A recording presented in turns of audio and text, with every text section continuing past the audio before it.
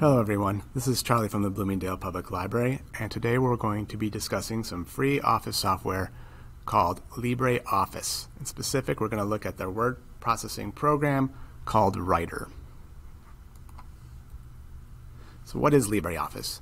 LibreOffice is an open source, free to use office suite available for Windows, Linux, and Mac OS, though you can donate to the project if you like. If you've ever used Linux, you'll see that LibreOffice tends to be packaged with their distributions. The LibreOffice suite is made up of six applications, most with Microsoft Office equivalents. There is Writer, which is for word processing, so that would be something like Word. Calc, which is for spreadsheets, and that would be like Excel. Impress is for slideshow presentations, so that would be like PowerPoint. We're going to be looking at that next week. Draw, which is more of a graphic application, kind of similar to Publisher, so for making uh, posters and pamphlets and things like that. Math is a formula editor that you can use with the other applications, and Base would be like Access, and that's for working with databases. So many of you might have heard of something called OpenOffice and consider that the go-to free office software.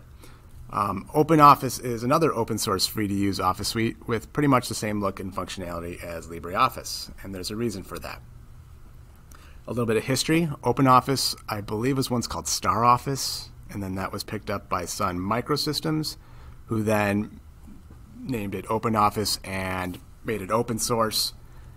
And after that, Oracle bought Sun Microsystems and they discontinued the project.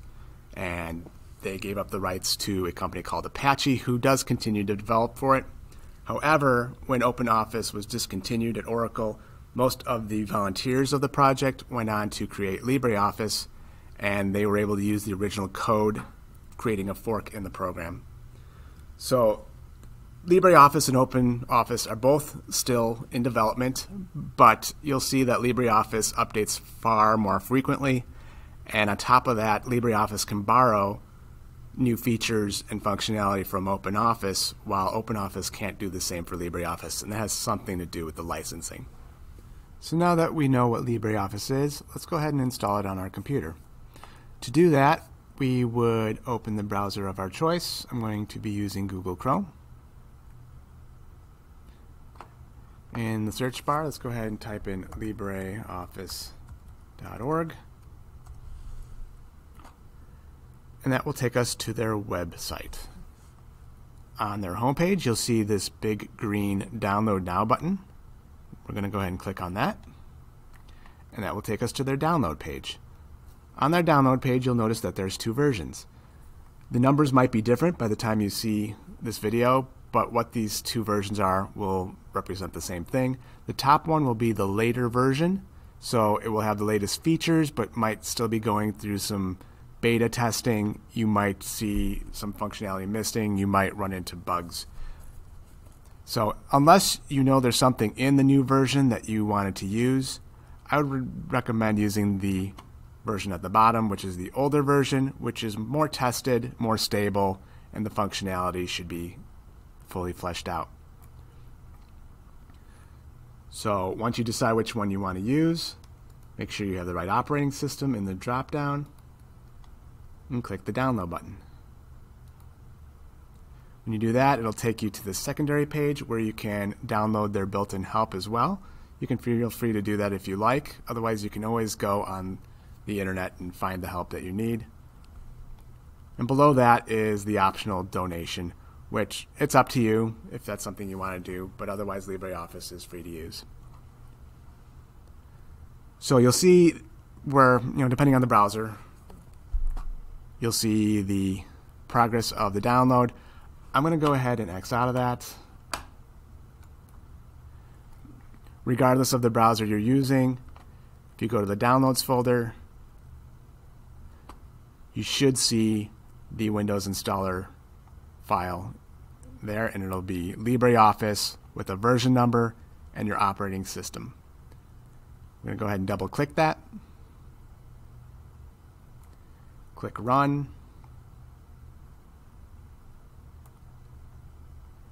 It'll calculate the space, click next. On this screen, I would recommend using a typical install unless you know what you're doing, but just to have a look at the custom install, you'll have the option to install some additional extensions uh, as well as some additional languages, which will help for things like spell check. You'll also have the opportunity to change which folder you install the program to. I'm going to back out of that and choose the typical install. Click Next. Um, I would probably leave it with just the shortcut on the desktop. If you want to load LibreOffice on startup every time, I suppose you could. And once you do that, click Install. You'll see the bar go for a little bit. You may get a window regarding your permissions. Just say yes. And then you'll probably get this screen. This screen will offer to close your programs and finish the install or do a restart at the end.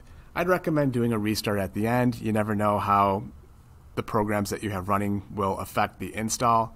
In my case, I have recording software running, so if I were to close applications, it would cut off the recording. So I'm not going to finish this through just so we don't have that issue. But from here, you'd click OK. You would see the progress bar goes, and then depending on your options, you'll either see programs flash closed and open, or you'll get the option to restart.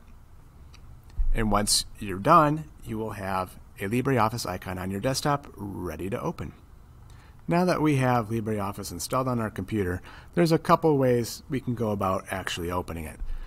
During the install, we set it to create a shortcut on the desktop, and that is right here. So it says LibreOffice 7.0 with a page uh, kind of fold in the upper right hand corner. If we double click that, it'll take us to this kind of home page here where anything we opened previously will show up in the middle or we can go about finding files with the open file, remote file options or we can create a new document by clicking on any of the programs in the suite. If I were to X this guy out Again, this is just a file I opened recently. We get this page, and you'll see it says drop a document here or pick up an app on the left side to create one. So if I were to click and drag a document over here, you'll see it opens it right up. I'm going to go ahead and close that. If you're working in Windows, another way to go about opening LibreOffice, if you lost your shortcut, or didn't create one, you go to the Start menu, go under L for LibreOffice, and you'll see there's a folder here. Click on it, you'll see all the programs in the suite. Click on LibreOffice Writer, and that'll take you straight to a writer document from scratch. I'm going to close that. One other way we can go about opening LibreOffice is by clicking on a file directly. So right here, I have a sample writer document. If I double click on that, it opens it right up. Or if you have multiple word processing programs on your computer, it might not open by default. So if that's the case, you can right click on the document and go to Open With. And you'll see we have LibreOffice and Word 2016. So if you select LibreOffice, we'll wind up back where we were with our document ready to go. And just to show you though, we've got this Word document here too. If I right click and go to open with, we have the LibreOffice Writer and Word 2016 options available to us. So let's go ahead and try to open it with LibreOffice Writer. And that worked just fine. So you can open LibreOffice Writer documents in Word, and you can also open Word documents in LibreOffice.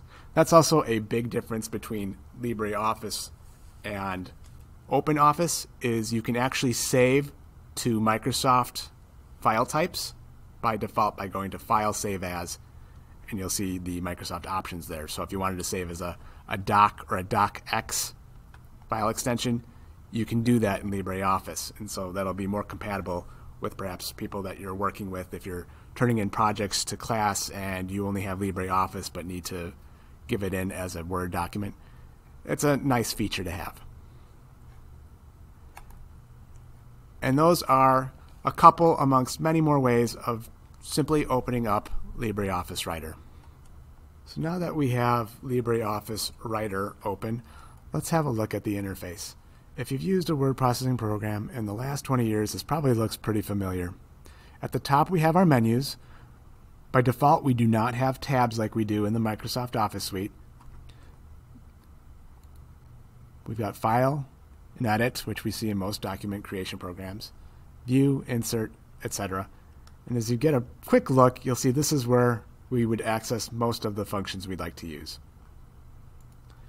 Below that is the standard toolbar. That'll be present pretty much all the time, no matter what we're looking at. So that's opening a new document, finding a document, saving a document, printing, spell check, etc. And below that is a contextual toolbar, which will change depending on what we're working with. So right now we're working with text, so we see, you know, font style, font size, uh, font effects, etc. However, if we were to insert an image,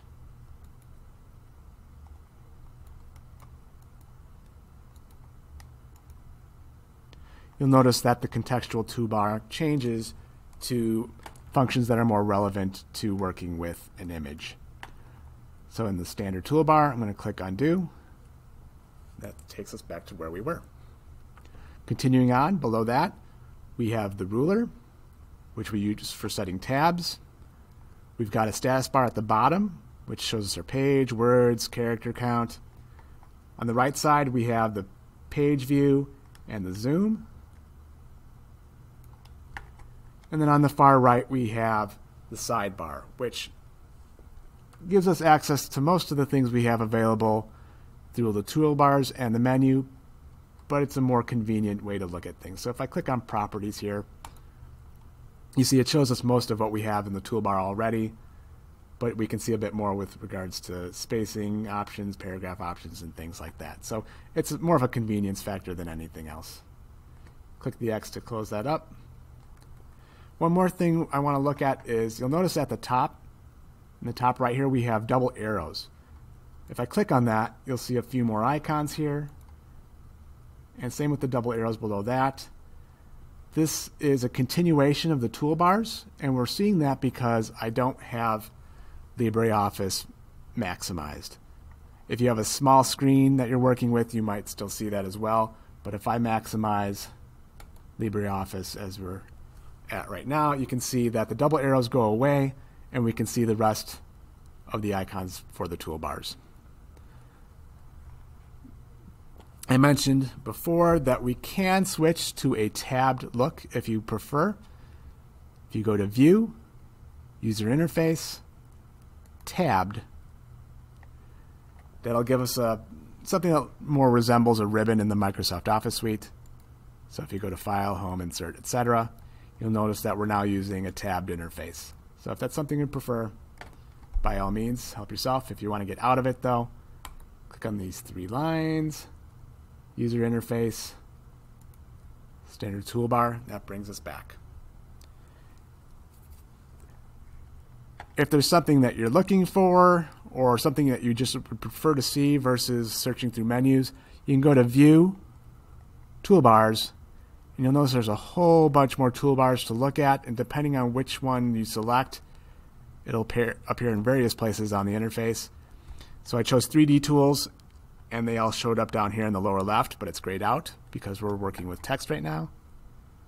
Just to pull up another one, toolbars, find. You'll see this is not grayed out because we can actually work with these options with the text.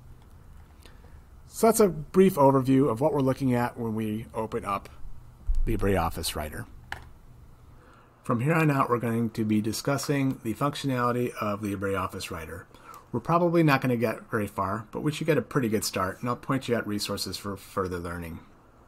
I'm going to start at the very beginning as far as word processing goes, but I'm going to go kind of quick. So it'll be a good refresher for people that haven't done a lot of word processing, while emphasizing the similarities between LibreOffice Writer and other word processing programs. However, if you were looking for an introduction to word processing, uh, I might be going a little fast. So you can either slow the video down with the YouTube settings by clicking on the gear in the lower right, or you can stop and start to keep pace with what I'm discussing.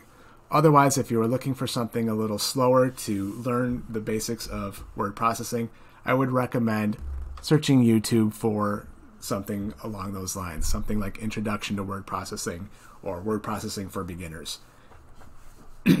so without further ado, let's go ahead and get started. We've got a blank page here. I'm going to enter some text. Text will always be entered at the flashing cursor. So I'll go ahead and type.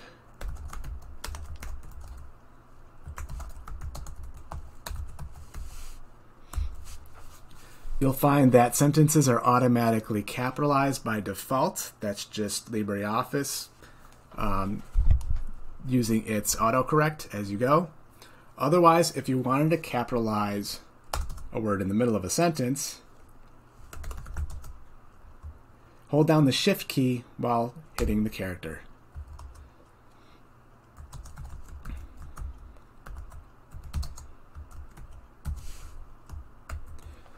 Also, if you wanted to make something like an exclamation point or a dollar sign or any of the characters that appear above a second character on a keyboard key, you would use the shift key. So if I hold down shift and press the one key, that is how I'll make an exclamation point. Or if I wanted to make a percent sign, I would hold down shift and the five key. Or if I wanted to make a question mark, I would hold down shift and the forward slash. So that is how you capitalize and use special characters. If you wanted to capitalize multiple characters in a row, press the caps lock, enter your word, and then press the caps lock again to turn it off. If you wanted to remove characters, you could use the backspace key. So the backspace key will start at the flashing cursor and it'll go back one character at a time, removing it as you go. So if I hit the backspace key a couple times, that is how you can remove a couple characters by going backwards. Otherwise, if you take the mouse cursor and place it somewhere else, or it can use the arrow keys. With the mouse, just remember that you have to left click first. And now you can use the delete key, which will delete characters in front of the cursor while not moving. So use the backspace key to go backwards, use the delete key to delete forwards. In order to go to another line, what you do is you just keep typing.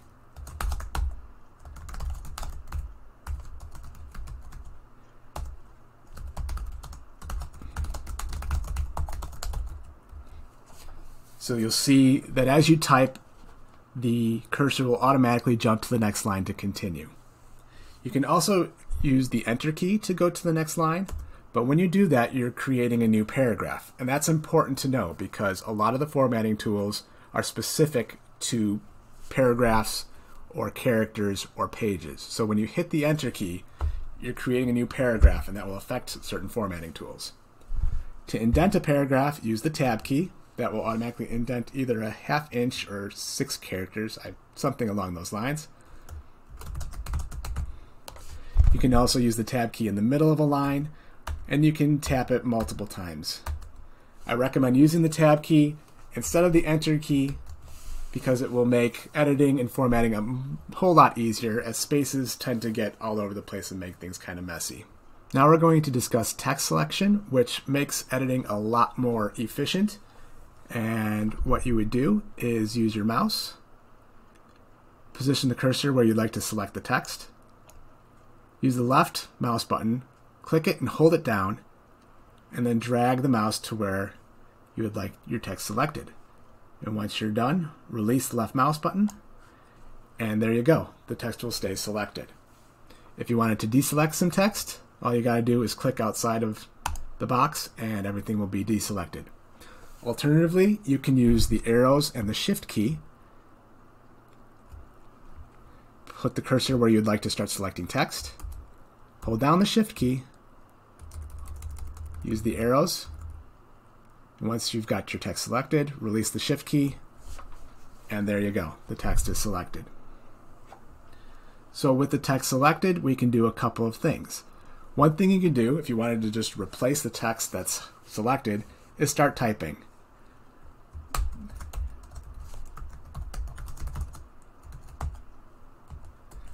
So what happens is the text is basically deleted and you start typing at the beginning of where the text was selected because that's where the cursor winds up. Alternatively, you can use the cut, copy, and paste functions. So I'm going to again select some text, click, hold, drag, release, and the cut, copy, and paste functions are right in the top in the standard toolbar. As we roll over them, you can see that there's also shortcuts listed. So that's Control X, Control C, and Control V. And those will just be a way of doing things a little more quickly with the keyboard. Um, those shortcuts are worth remembering because you use them in a lot of other programs, as well as Control Z to undo, Control Y to redo, Control S to save, and Control P to print. So with our text selected, I'm going to go ahead and click Cut. And as you see, the text that was selected is cut from place. When you cut text, it goes to a place called the clipboard where we can then paste from. So with the text cut, I'm going to go ahead and click Paste, and the text comes back.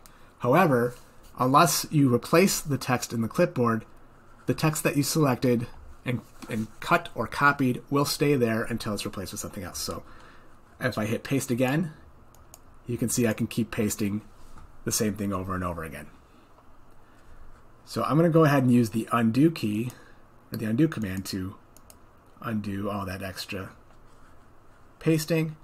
And now I'm going to select the last sentence here. Again, I'm going to click, drag, release, and I'm going to click copy this time instead of cut. It does the same thing as cut, except it leaves the text in place. So if I were to click paste, you can see once again, we can paste to our heart's content because whatever goes in the clipboard stays there until it's replaced. I'm going to click undo a couple times to get all that back to where we were at. Again, the undo function is probably the most important function in any program because it lets you goof around, make mistakes, and go back to the way things were. So again, Control Z or the undo function is always something worth making a note of. So that's the basics of editing with the text selection tool. Um, being able to select text is also important for formatting, which is what we're going to discuss next. Now that we've discussed adding and editing text, we can start talking about formatting text, which just means changing the way that the text looks. To do that, we're going to be using the second toolbar we see when we first open LibreOffice, as that is the toolbar that pertains mostly to uh, font and paragraph formatting. So the first tool that we see is a drop-down menu. It says Default Paragraph Style. And if I click on the down arrow, we see a bunch of different kinds of paragraphs. And each of these paragraphs has preset attributes to change the way it looks. So if I click on title, you'll see it changes a whole bunch of things, such as the font style, the font size, and even the alignment. So each of these types of paragraphs has presets to change their look. And it's just a quick and easy way to uh, add a look to your document. Microsoft Word actually has a very robust collection of preset styles and themes. And while LibreOffice Writer doesn't have as much uh, already established, you can go in and set your own customizations, but we're not going to be discussing that today. So I'm going to go ahead and undo what we did, and moving to the right, we see the text style. So you can either set the text style before or after you start typing. So with this text selected, I'm going to go ahead and choose Century Gothic, and you see it changes the text styling. If I undo that, click outside the selected text, and now set it to Century Gothic.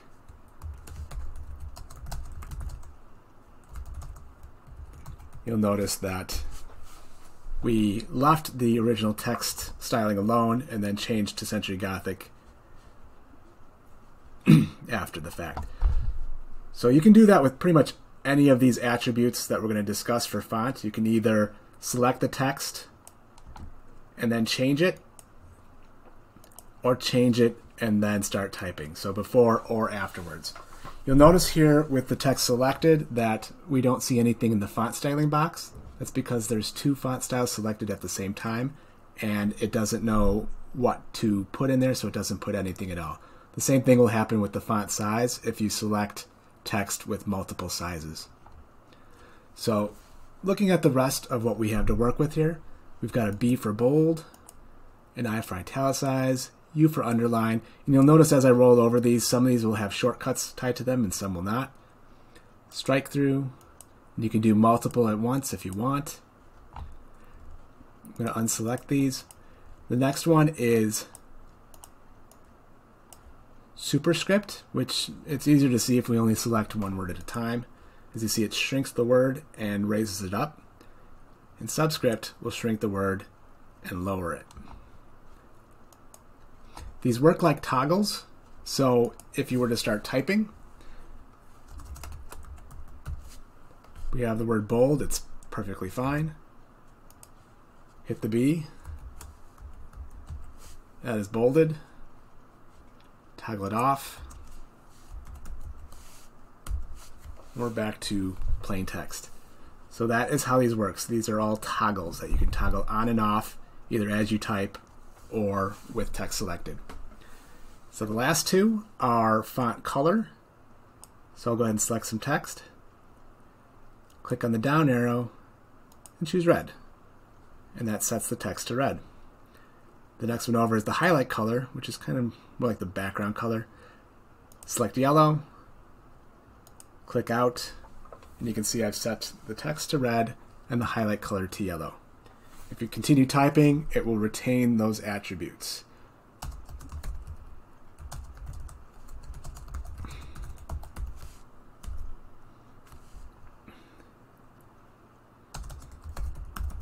If you wanted to turn those attributes off, it's kind of quirky, but what I would do is continue typing, select the text, and then set everything back. So we had black and no fill, and there we go.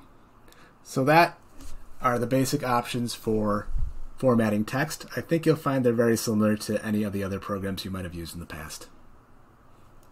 Now we're going to discuss formatting paragraphs.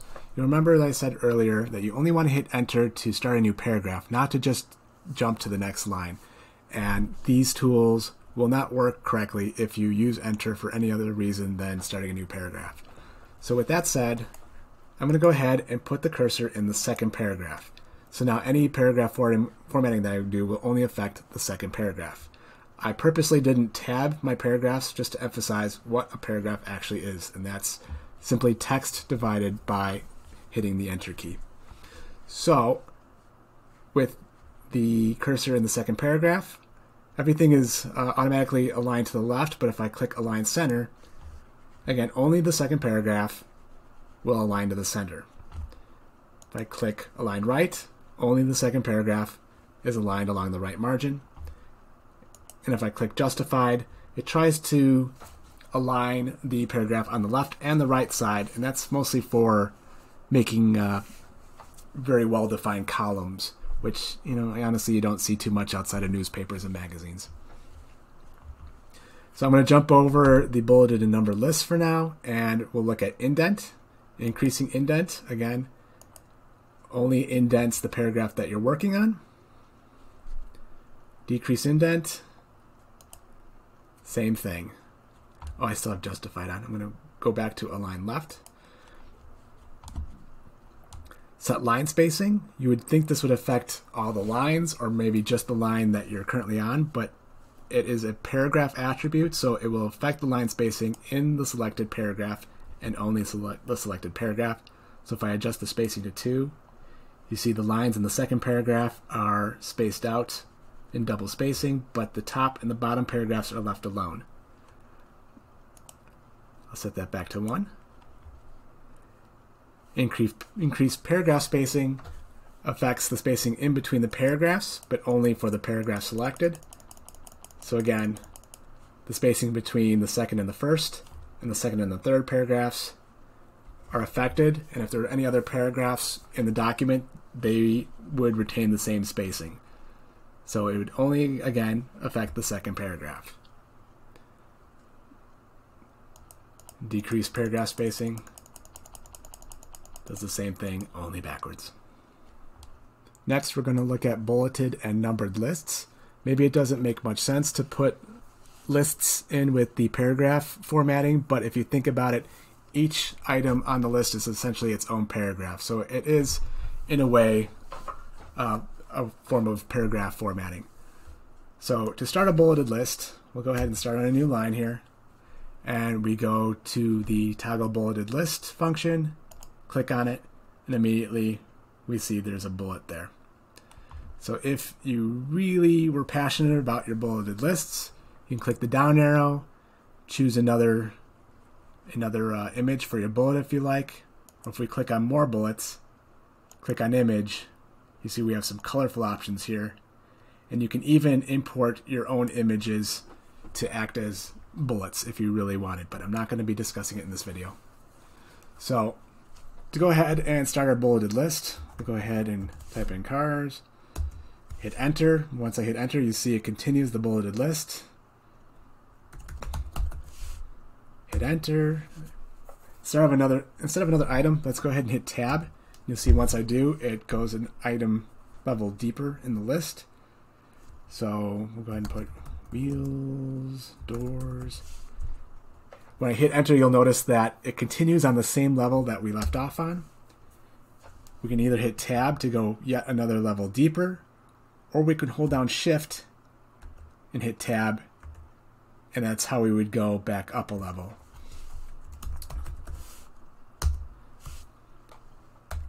So if you like, in the middle of your list, you can go ahead and click on that down arrow by the bullets, and you can choose another image, and you see it affects all the other bullets at that level.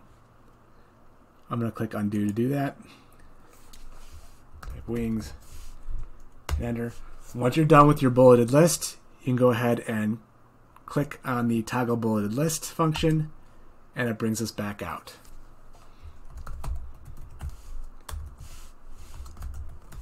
So with that done, let's go ahead and have a look at numbered lists, which are essentially the same thing, except that each level is incremented as you go. So I will go ahead, click on the toggle numbered list, and you see we get a big old number one. So type something in, hit enter, and instead of continuing on, it goes up to number two.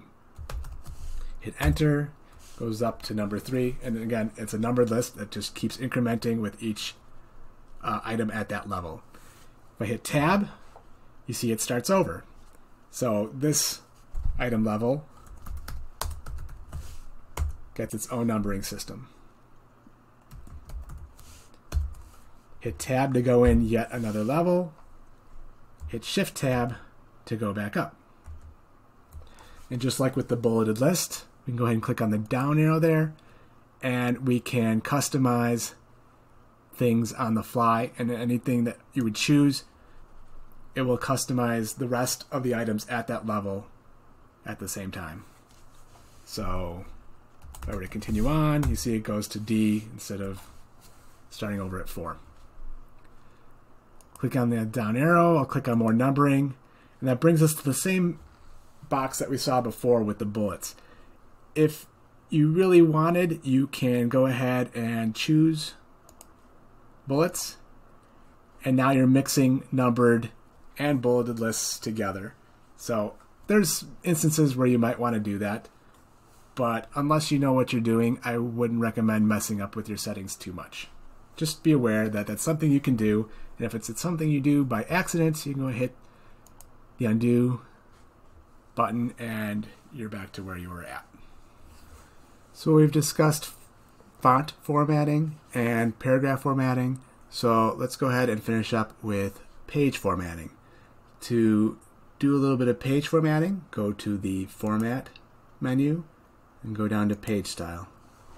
And that will bring up this window here. So we have a few options at our disposal here.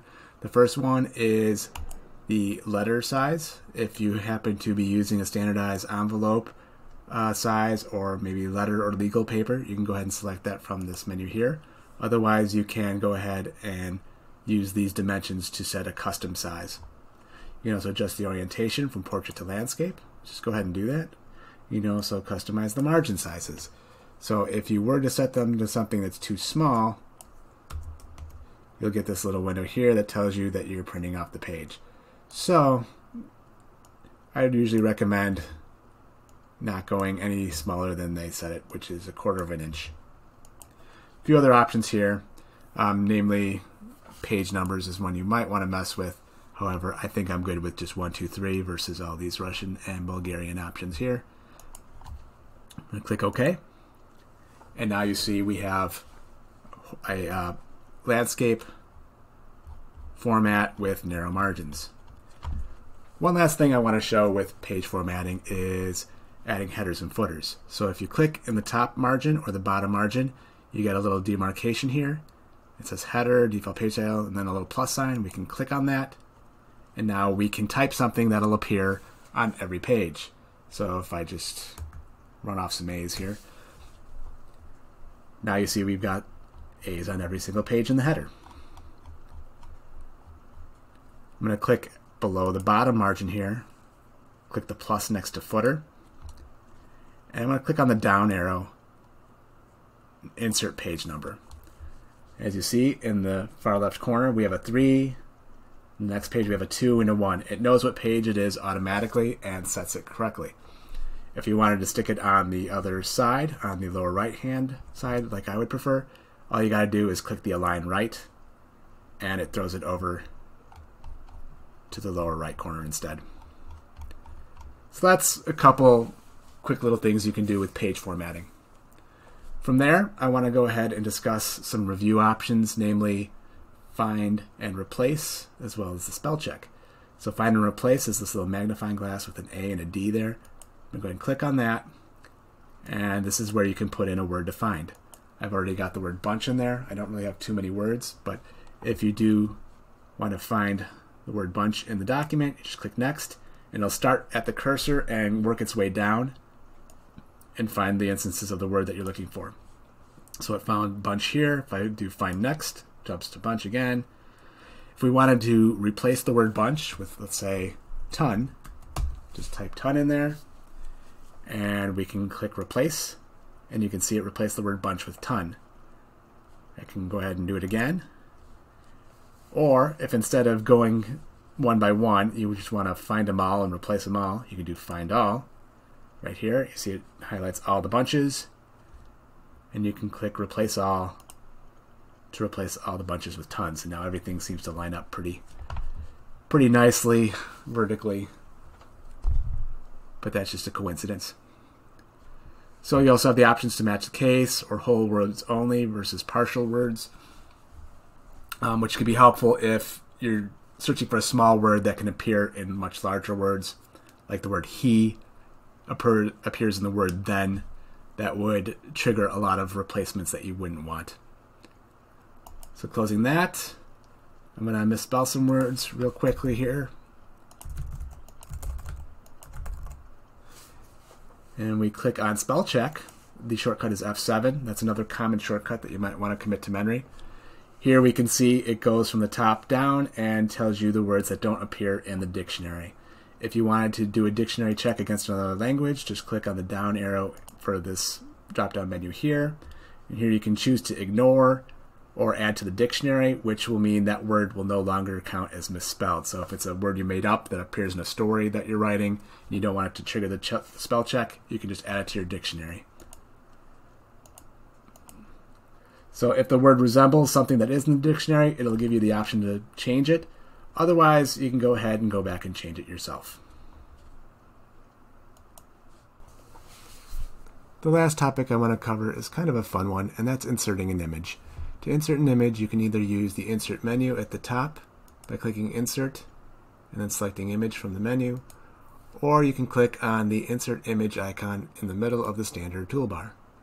Once you do that, a window will pop up, and then you have to find your image. When you find it, select the file, click Open, and when you do, it will put the image right in the middle of your document, depending on where your cursor was located. So you'll see an anchor, which will pin the image to either a page or a character or a paragraph. I'm not going to really get to go into detail with that. You'll also notice squares around the perimeter of the image. The squares on the corner, if you click and drag on them, will change the size of the image. If you click and drag on one of the squares on the sides, top or bottom, it will distort the image in one of the dimensions. There are reasons why you might want to do that, but I'm going to undo the distortion to keep everything in the correct ratio. If you wanted to further change the size of the image, you can also find the crop image function towards the right side of the toolbar. If you click on crop image, those squares become uh, light blue brackets. So click and drag on one of the light blue bracket icons and you can crop out or add to the image. I don't know why you'd want to add blank space to the image, but we will crop this just a little bit. Once you're done cropping, there's a few other things we can do. To the right of the crop, you have flip vertical, flip horizontal, rotating left and right 90 degrees. And the far right rotation will actually place little red circles on the corners and you can rotate about those corners. And we'll leave it right side up. If, as you saw when I clicked away from the image, the image toolbar went away. And you click on the image again, the toolbar comes back. A few more of these options that we have. Um, a big one is the wrap, and that is how the words will interact with the image. So if you click on the first option, everything will go on the top and the bottom.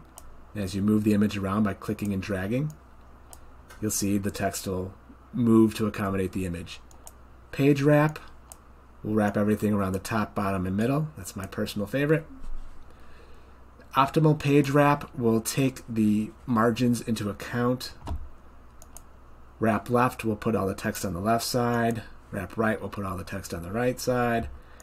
And then wrap through will put the image just right over the text. So you're actually blocking content.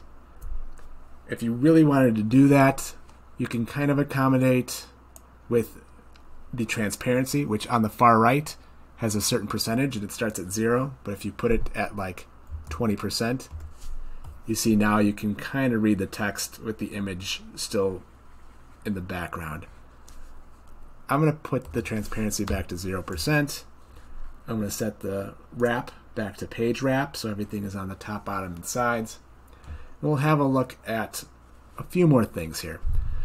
We have a couple border options where we can add borders. I'm going to put borders on all four sides. It's kind of thin and hard to see there. Border style, so you can add a little style to your border. This is double lines all the way around. You can add a color to your borders. Let's make it uh, red. So now we have a red border with double lines. You can add a background color as well. Let's make it something that we'll be able to see. How about green?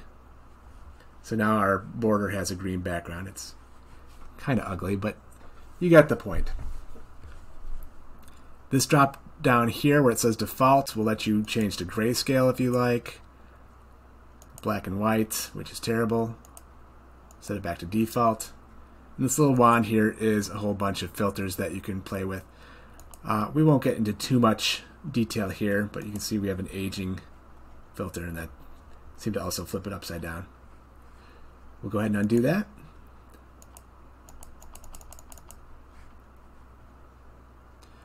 Flip it back. And that's inserting an image. So that's about all I have time for today. Just a few closing notes. If you wanted to print your document, you can either click the printer in the standard toolbar or hit Control P. When you do that, it'll bring up this screen here. You can have a look at the options under the General tab, under the LibreOffice Writer tab, uh, mess with your printer directly through the properties, and then click Print when you're all set. I'm going to cancel out of that. If you wanted to save your document, you can just click on the disk here or hit Control S. But if you click the down arrow, you have a few more options, such as Save As. And when you do Save As, you'll see that you're saving as an ODF text document, which has an extension of ODT. That is a standardized format that will open in most programs, but for uh, various reasons, you might want to save as a Word document. Uh, 2007-365, which will have an extension of DOCX. Another version you might want to save as is a rich text document, which will usually do away with all the formatting, but will open in pretty much anything. I'm going to cancel out of that. And one final thing you might want to do is export as a PDF. There's an icon on the standard toolbar to do that, just next to the save and print icons. If you click on that, it will bring up the screen here. I'm not sure why it doesn't give you the option in the save as window, but if you do export, that will give you the option to, again, save as a PDF. And on that note, we'll look at going forward. There's a lot I didn't cover here today. I was trying to keep my video to about a half hour. But the, some things you might want to look into are templates, macros, form tools, which there's a whole menu dedicated to, charts, tables, and mail merging. Um, because lynda.com is owned by LinkedIn Learning, which is owned by Microsoft, uh, you're not going to see any LibreOffice tutorials on lynda.com, which is a shame. However, you can go ahead and do searches on YouTube. You'll find a whole bunch of tutorials on YouTube. Uh, just search for the topics that you're looking to learn about, and there should be something there. There's also some online documentation, which I have included a link for right here. There is an online forum if you wanted to ask the community for questions. That link is right here. And if you're looking to get more functionality out of LibreOffice, you can find some templates and extensions here. So that's all I have for today. I appreciate you viewing. Next week we'll be looking at Impress, which is LibreOffice's version of PowerPoint. So we'll be making slideshows. I hope you all tune in, and thank you for viewing.